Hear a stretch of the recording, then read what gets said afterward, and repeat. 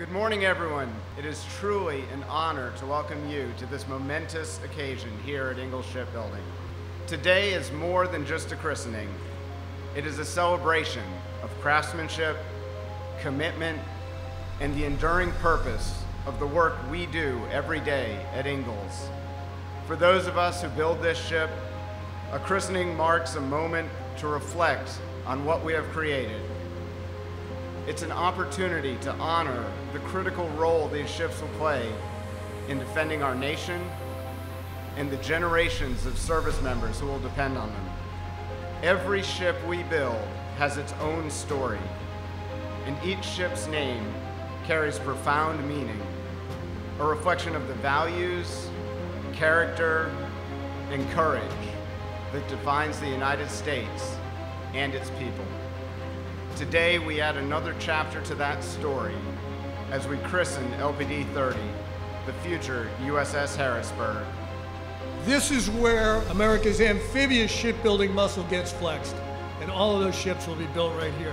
This is the start point to return us as a Navy and Marine Corps team to persistent presence forward to face what I believe is a generational challenge, a generational contest.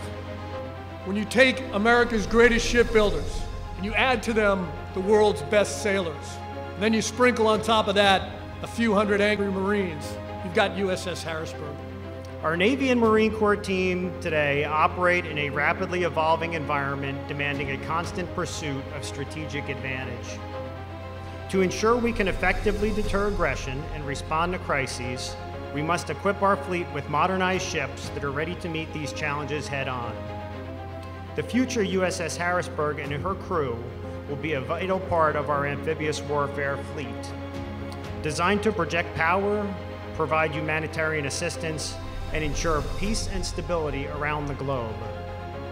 With its state of the art capabilities, she will ensure our ability to maintain our strategic advantage and readiness wherever and whenever America needs her.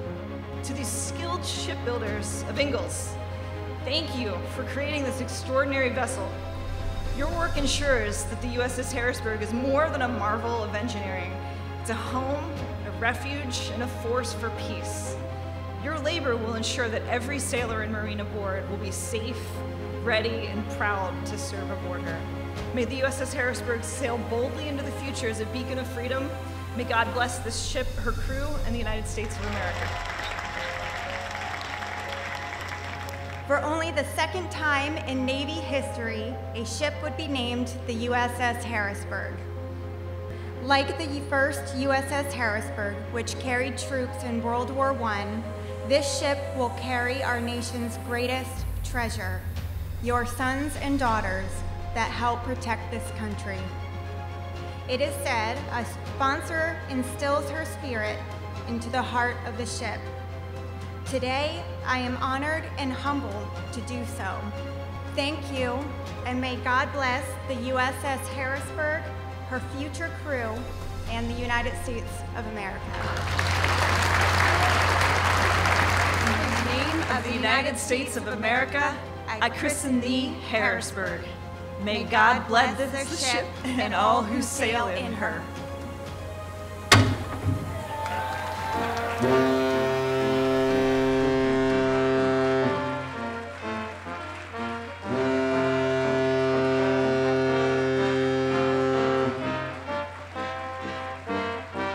Thank